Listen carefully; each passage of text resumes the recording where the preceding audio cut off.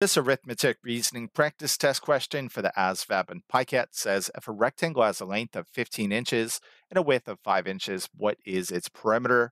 So in order to do well on the ASVAB and PICAT, you have to memorize a lot of basic formulas from geometry, including how to find the perimeter of a rectangle. Thankfully enough for this one, as long as you can draw a rectangle, you should be able to solve it. Again, this part of a rectangle is its width, this is equal to that side, and this is also a width. This is the length of the rectangle, and this is equal to that side. It's also the length of a rectangle. How do you find the perimeter of any regular polygon? You simply add up all of its sides. So in other words, you do width plus length plus width plus length.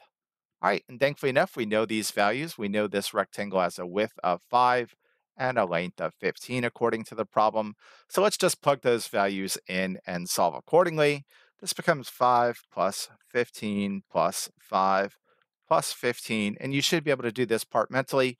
15 and 15 is 30, 5 and 5 is 10, 30 and 10 is going to be 40. So the perimeter of this rectangle is going to be a 40 inches. Again, you don't get a reference sheet on this test, so you have to commit these formulas to memory. And beyond that, you have to understand how to use the formulas accordingly.